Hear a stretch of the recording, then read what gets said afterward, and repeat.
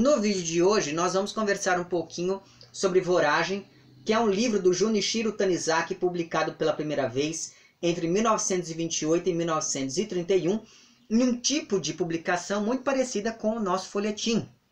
E é claro que isso acaba tendo implicações estruturais muito interessantes.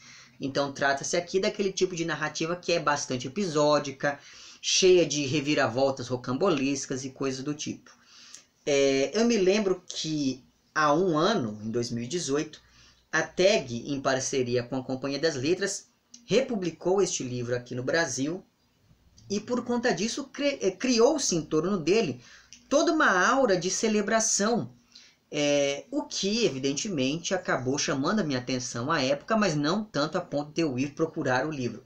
Na verdade, eu só fiz essa leitura agora porque eu recebi esse exemplar aqui recentemente em casa então, por conta disso, né, e tentando, enfim, quitar o meu débito, ou numa tentativa ainda que vã de quitar o meu débito com a literatura japonesa, eu resolvi já fazer essa leitura e trazer um vídeo aqui para vocês, porque muitas pessoas me pedem.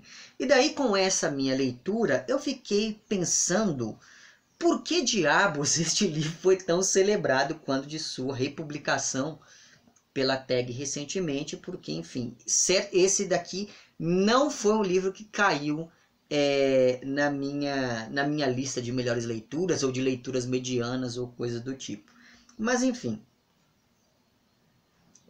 antes que tratemos disso, é preciso que nós nos atentemos a alguns comentários que eu tenho aqui a fazer sobre Voragem, cujo título original é Manji, ou algo do tipo. Como vocês sabem, eu não falo japonês, mas apesar disso, eu sei que manji se refere à suástica budista, que é um símbolo que representa o equilíbrio entre opostos e a harmonia universal. Então você tem uma linha vertical ali que representa mesmo essa ligação entre o céu e a terra e uma linha horizontal que representa a ligação entre dois polos opostos, né? o yin e o yang, o polo positivo e o polo negativo. É, e para além dessas, dessas duas linhas, então, que se cruzam, você tem ali é, quatro braços né, nessa, formando essa suástica, sendo que esses quatro braços eles dão uma ideia de movimento a este símbolo, além, evidentemente, de fazer uma referência ali aos quatro elementos e aquela coisa toda. Então veja que originalmente o título deste livro aqui evoca todo um campo semântico que parece ser diametralmente oposto ao título aqui da tradução, que é voragem. Pensando nisso, então, vamos primeiro tentar entender esse título traduzido, que apesar de se distanciar do original, me parece bastante e igualmente adequado, porque este daqui é um livro que vai falar sobre um desejo tão intenso, tão voraz, é, que vai aos poucos turvando a lucidez desses personagens aqui do, do romance. Graças a isso, então, vem a reboque várias discussões sobre relacionamentos que são mais doentios, digamos assim, sobre a loucura, o ciúme, a insanidade e etc. E o nível dessa insanidade que nós vamos acompanhando aqui ao longo dessa narrativa vai se aprofundando conforme novos personagens vão surgindo e conforme este romance vai incorporando à sua trama novas reviravoltas, de modo que em vários momentos aqui o leitor, pelo menos esse foi o meu caso, o leitor se pergunta se tudo isso aqui que está sendo narrado de fato aconteceu ou se tudo isso não passa de um delírio dessa personagem narradora aqui. E tudo isso parece estar aqui, todas essas reviravoltas e todas essas discussões sobre a loucura, a insanidade, esses relacionamentos doentios, enfim, tudo isso parece estar aqui para mostrar o pior lado de um relacionamento, sobretudo ao fazer um contraponto aqui entre aquilo que é da ordem do público e aquilo que é da ordem do privado. Isso porque me parece, a partir da leitura deste livro, que a sociedade japonesa aqui representada controla muito as liberdades individuais né, é, das pessoas, ainda que a sociedade japonesa não seja, pelo menos a partir da minha perspectiva, uma sociedade tão conservadora, por exemplo, quanto a nossa.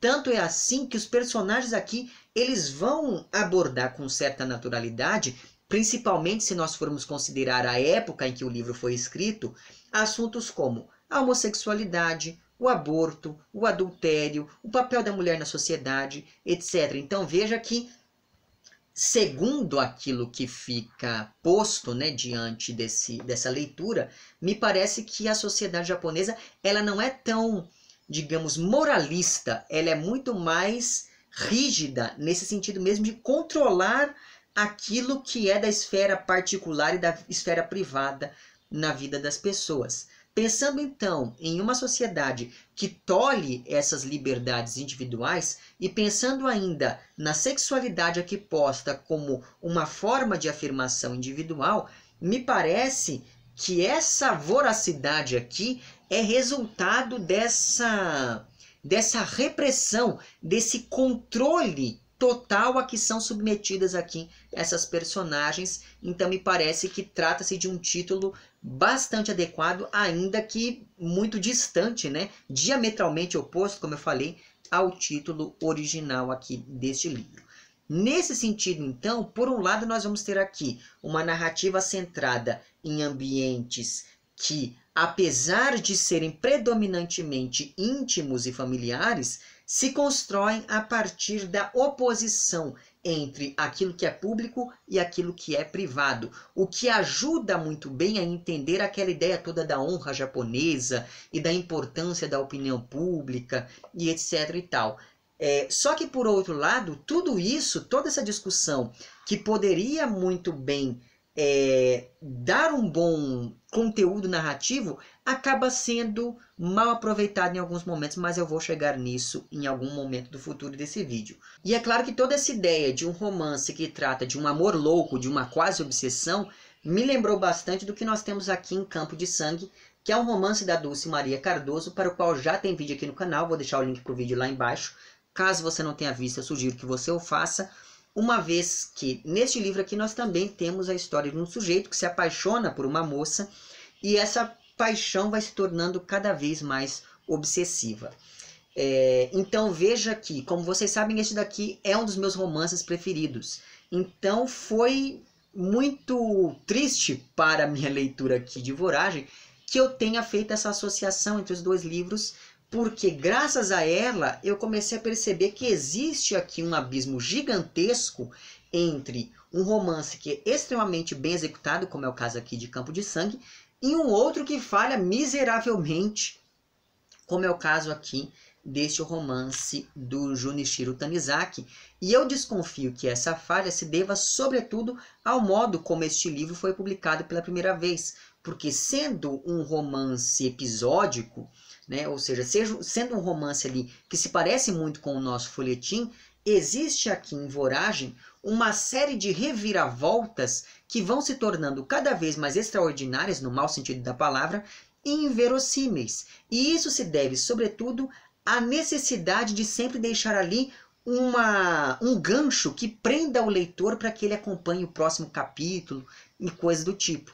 Com isso, então, as situações narradas aqui em Voragem vão ficando cada vez mais exageradas, para e passo os personagens vão ficando cada vez mais estereotipados, o que é uma pena, porque no começo do romance o autor parecia apostar muito mais em uma sutileza das ações que lhe permitia trabalhar melhor os personagens.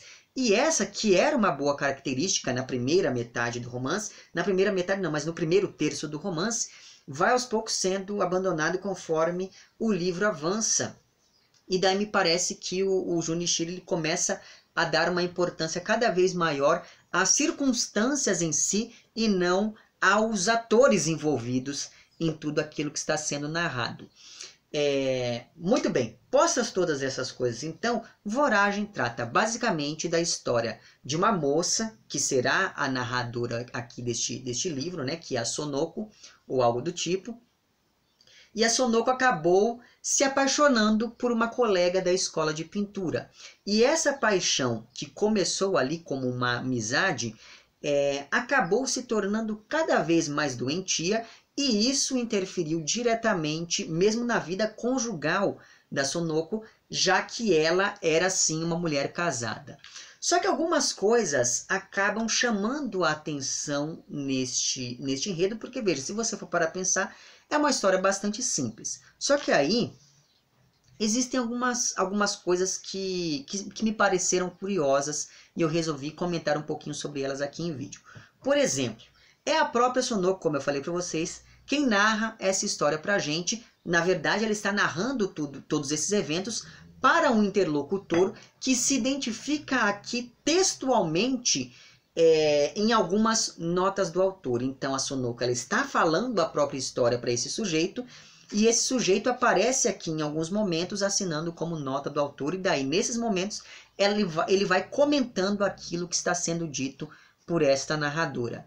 É importante dizer que sempre que um personagem conta a própria história, é preciso ter certo cuidado, porque essa perspectiva única pode ser tendenciosa, pode ser pouco parcial, pode mesmo ser pouco confiável, como é o caso é, da maioria dos livros que utilizam esse recurso, principalmente, evidentemente, devido às limitações advindas desse tipo de escolha narrativa, porque afinal de contas, um único personagem não pode saber de tudo aquilo que acontece, sobretudo quando nós pensamos no modo como ele se relaciona com os outros. Além disso, pensando ainda nessas notas do autor aqui que vão aparecer nessa primeira metade do romance, é, elas vão dar à narrativa um caráter de veracidade, já que a partir dessas notas do autor é possível ler o romance como um relato baseado em fatos. Isso porque, logo de início, a narradora diz a esse interlocutor que ela não tem talento nenhum para a escrita, mas ela resolveu contar a história para esse sujeito é, o que acaba, enfim, fazendo pressupor que ela está fazendo isso para que ele escreva alguma coisa sobre essa história. Então é como se tudo isso aqui que está sendo narrado tivesse sido contado por alguém ao Junichiro Tanizaki, é, só que a gente não pode nunca esquecer que este autor que aparece aqui nas páginas é um autor feito de linguagem. Ele é mais um personagem dentro do romance, ainda que ele se comporte aqui, ainda que ele assuma a voz autoral que organiza este relato. Ainda assim, é sempre bom lembrar que este autor aqui das páginas não é ipsis literis, digamos, o próprio autor que assina aqui é, a obra quando ela vai ser publicada e coisas do tipo. E é uma pena, visando tudo isso, tendo em vista toda essa articulação aqui, é uma pena que essas notas do autor desapareçam lá pela metade do romance, porque elas eram um elemento estrutural muito interessante, eram um elemento estrutural que acabava tornando este livro mais complexo do ponto de vista formal, e daí de repente o Junichiro simplesmente se esquece delas e dá vazão a outras coisas. Então, enfim, esse foi um, um ponto que é, que eu, do, que eu, do qual eu não gostei aqui ao longo dessa minha leitura. Mas enfim, outra coisa interessante é que, pensando nessa no enredo do, do livro em si, logo no início, essa narradora afirma que ela já teve uma relação extraconjugal, só que tudo se resolveu muito bem porque o marido dela ficou sabendo de toda essa história, só que como o casamento deles não é dos melhores, esse marido acabou aceitando. Portanto, o tema da traição vai ser importante e ele já aparece logo no primeiro parágrafo do livro. Outra coisa, pensando ainda nesse casamento, né? O casamento entre a narradora e o seu marido aconteceu muito mais por conveniência, sobretudo para ele, já que a família da moça era uma família muito rica e com isso, esse marido aqui pôde terminar os seus estudos para se tornar advogado. E é graças a esse dado referente à riqueza da família da narradora é, que me parece muito curioso, ou seja, não me parece à toa, que seja a própria Sonoko quem assuma a voz narrativa aqui. Afinal de contas, é ela quem tem o dinheiro, logo é ela quem tem a voz para contar toda, toda essa história.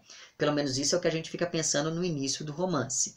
É, e é claro, é também o fato de ter mais dinheiro que permite que essa personagem narradora é, fuja um pouco daquela imagem de uma mulher submissa ao marido e coisa do tipo. Não, como ela tem o dinheiro, ela tem a voz e ela quem manda na relação toda. Então, isso é uma coisa muito interessante.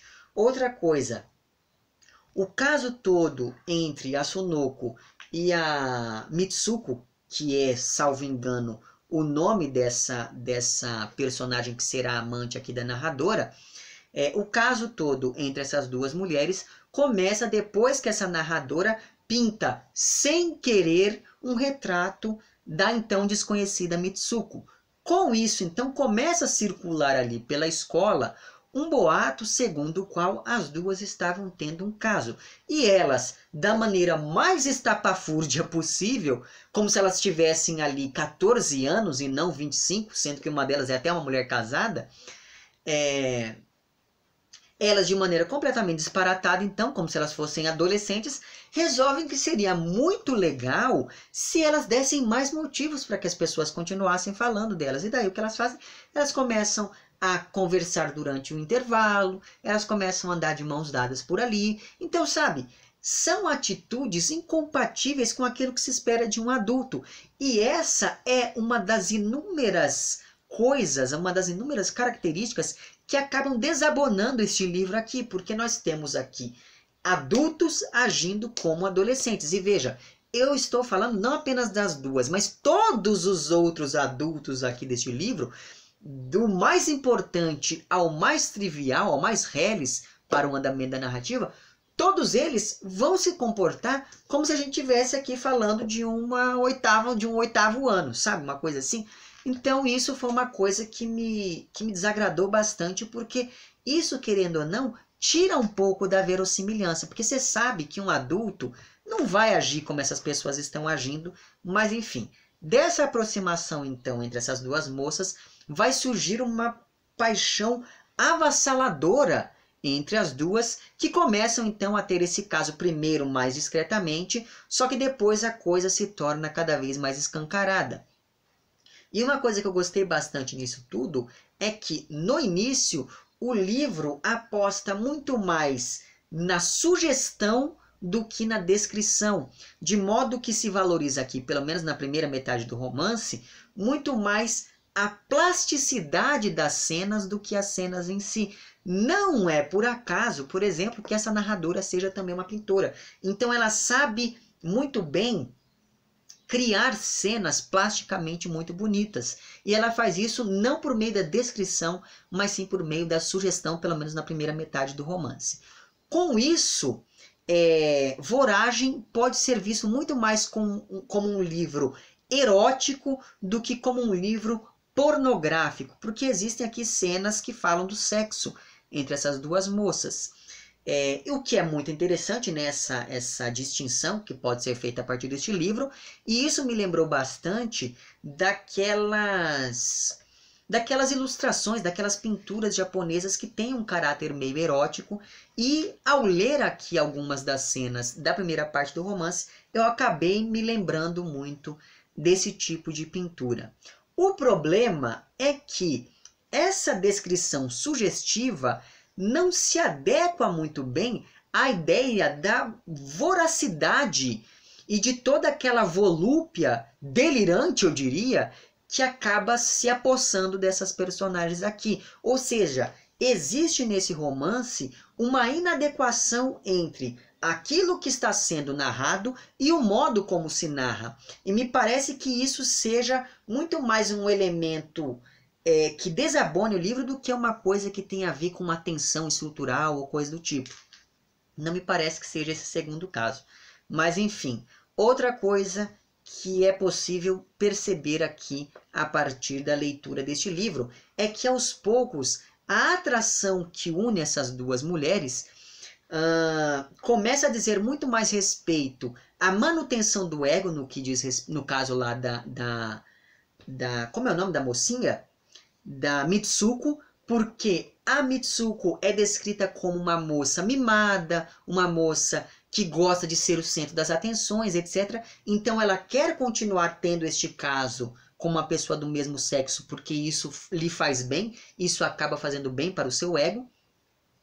E no caso lá da narradora, é, tudo isso, toda essa relação entre as duas me parece muito mais uma espécie de fuga do casamento do que qualquer outra coisa. Tanto é assim que ela já havia sido infiel antes, então me parece que seja uma leitura possível aqui. Ou seja, a impressão que dá é que essas duas personagens aqui mantêm esse relacionamento muito mais por conta desses fatores externos, digamos, do que pelos sentimentos que elas nutrem uma pela outra. Mas enfim, não sei se vocês concordam comigo, mas pelo menos eu fiquei com essa impressão a partir da minha leitura. Outra coisa, depois de muitas tardes de amor tórrido e aquela coisa toda, eis que a nossa amiga narradora aqui descobre que a Mitsuko tinha um amante também, então veja que ela estava enganando o marido, mas estava sendo enganada pela própria amante. E a partir deste momento de descoberta, serão inúmeras as reviravoltas em toda essa narrativa, e essas reviravoltas, movidas pela mentira, pela manipulação e pelo ciúme, acabam tirando toda aquela sutileza que marca a primeira metade do livro, que se torna, portanto, cada vez mais exagerado e cada vez mais inverossímil. E esse caráter inverossímil do romance não se deve tanto aos acontecimentos em si, ou seja, não acontece uma coisa que seja completamente mirabolante ou coisa do tipo. Não, mas esse caráter inverossímil diz muito mais respeito ao modo como os personagens reagem a esses eventos. E tudo isso se deve muito, novamente, ao modo como este livro foi sendo narrado, né? Ao modo como este livro é narrado, na verdade. Porque essa narradora quer se fazer de vítima o tempo todo. Ela quer se fazer de coitada o tempo todo. Só que ao mesmo tempo, ela engana e manipula o marido a cada oportunidade que ela tem. Então, por mais que ela adote uma voz quase pueril em, algum, em alguns momentos, é, fica uma coisa muito mais irritante do que é, um tipo de narrativa que vise convencer. Assim, ela está tentando nos convencer, só que ela é tão irritante, mas tão irritante que você não se convence de nada daquilo que ela está falando, percebe? Mas ainda assim, apesar de todas essas coisas negativas que eu, que eu acabei encontrando aqui no livro, ainda assim eu reconheço que esse seja um jogo interessante, né? Quando nós pensamos nisso de construir um triângulo amoroso, mas narrar tudo apenas sob uma perspectiva, que é a perspectiva aqui dessa, dessa Sonoko. E essa estrutura narrativa chama a atenção para toda a enganação que está em jogo aqui ao longo do romance. E essa enganação havia sido posta desde o início da narrativa, quando nós pensamos que a narradora está ali pintando um retrato dessa amiga, sem perceber que estava pintando um retrato da amiga, porque assim como a pintura é um simulacro lá no início do romance, a narrativa como um todo também será baseada em simulacros, baseada, baseada em mentiras, em meias-verdades, em manipulações e coisas do tipo. Mas o problema do romance não está nas reviravoltas em si, mas sim no fato de que aos poucos essas reviravoltas param de funcionar, uma vez que o leitor se acostuma com elas. Então você sabe que aquilo que está sendo narrado agora será desmentido dali a duas ou três páginas. E com isso você começa a se importar cada vez menos com aquilo que está sendo narrado. Pelo menos esse foi o meu caso. Então, por mais que eu não soubesse exatamente como, eu sabia que aquilo que eu estava lendo agora seria desmentido dali a, a um capítulo ou dois. Então, tanto fez como tanto faz que os personagens estivessem em apuros, porque eu sabia que depois as coisas milagrosamente seriam resolvidas. E esse é um tipo de, de narrativa, né? essas narrativas que, que, que investem muito nisso, acabam sendo um pouco deficitárias. A gente vê isso, por exemplo, nos filmes de terror hoje em dia. Né? Filmes de terror hoje em dia é assim, você vai lá para assistir, Aí, de repente, pula um monstro na tela. Ou um fantasma, ou assassino, sei lá. Aí, quando isso acontece, faz pam! Aí você se assusta. Muito mais por causa do barulho do que por causa do bicho em si. Muito bem. Aí, passa 15 minutos, acontece a mesma coisa. Aí, passa 15 minutos, acontece a mesma coisa. Na quarta vez em que acontecer, você vai começar a perceber que antes do bicho pular na tela, a trilha sonora diminui, Antes do bicho pular na tela, a iluminação muda, fica um ruído no fundo do, da, da, da cena. Então, tudo isso começa a te dar indícios de como aquela narrativa funciona. E daí você se acostuma com isso e o efeito de terror perde o sentido e você perde o interesse por aquele filme que você está vendo. Pois é, a mesma coisa aconteceu aqui com a minha leitura de Voragem. Parece um daqueles filmes que usam e abusam de jumpscare o tempo todo. Só que aqui no caso, esse, essa técnica era substituída por essas reviravoltas. Nisso vai residir então a grande diferença entre este livro aqui e Campo de Sangue, porque em Campo de Sangue, essa narrativa aqui em terceira pessoa é, acompanha quase integralmente a perspectiva de um único personagem. O problema é que este personagem, esse personagem aqui, esse sujeito, ele é louco, só que ele não sabe disso. E como tudo é contado a partir da perspectiva dele, ainda que não seja ele o narrador, o leitor só fica sabendo dessa loucura no final do livro, ainda que durante todo o romance você tem indícios de que esse sujeito não bate bem da cabeça. Então veja que, no caso aqui de Campo de Sangue, só existe uma reviravolta. Só que essa única reviravolta é muito mais eficiente do que as 10 mil reviravoltas que acontecem aqui em Voragem. Porque quando você chega no final do romance e descobre exatamente o que, é que estava acontecendo com esse personagem, a vontade que você tem é de voltar ao início e tentar ligar os pontos para ver exatamente como que aquilo se deu. E você percebe que, de fato, aquilo estava na sua cara o tempo todo. Isso não acontece aqui. Aqui parece que ele vai tira esse narra, essa narradora, ela vai tirando cada vez mais informações daquilo que ela está narrando, e daí de repente ela muda completamente a história sem dar ao leitor subterfúgios para acreditar naquilo. E é isso que torna o livro inverossímil. Então veja, esse excesso de, de reviravoltas acaba sendo um pouco um pouco prejudicial para o andamento da narrativa.